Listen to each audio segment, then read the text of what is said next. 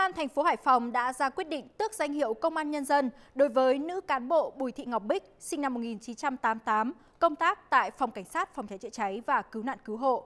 Nữ cán bộ này đã tham gia tổ chức sử dụng trái phép chất ma túy trong căn biệt thự cao cấp ở quận Hồng Bàng.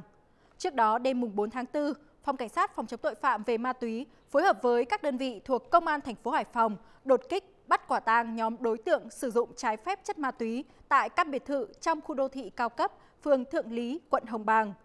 Thời điểm này, cảnh sát ghi nhận 12 đối tượng gồm 7 nam và 5 nữ đang mở tiệc ma túy.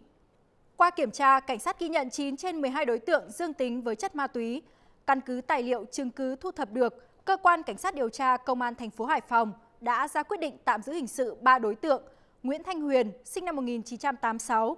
Bùi Thị Ngọc Bích, sinh năm 1988 và Vũ Hoàng Cường, sinh năm 1982, cùng ở thành phố Hải Phòng để điều tra về tội tổ chức sử dụng trái phép chất ma túy.